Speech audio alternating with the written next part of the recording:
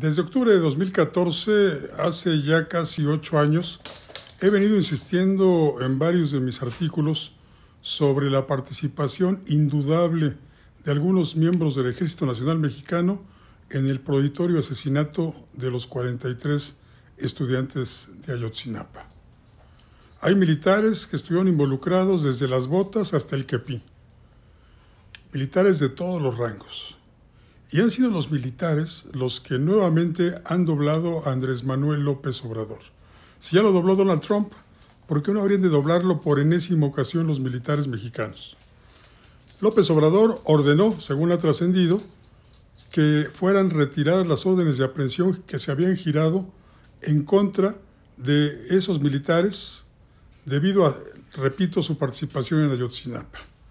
Las presiones provinieron del general secretario de la Defensa Nacional. Y le repito, si ya lo dobló Donald Trump, ¿por qué no lo habría de doblar otra vez el secretario de la Defensa? Muchas presiones, dice López Obrador, están recibiendo para solucionar el caso de Ayotzinapa. Presiones de las fuerzas vivas, presiones de los padres de familia, obviamente, presiones de la sociedad que quiere saber la verdad. No la histórica, no la que se inventaron ahora para salir del paso ante la inminencia de la fecha, sino la verdad, la verdad de lo que sucedió ahí. Hay militares involucrados que reciban su castigo. Que no lo salve otra vez el secretario de la Defensa Nacional, como ya lo salvó su antecesor en el mismo cargo.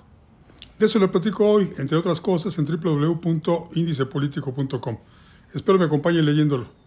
Soy Francisco Rodríguez y como siempre le deseo que tenga usted muy buenas gracias y muchos, muchos días.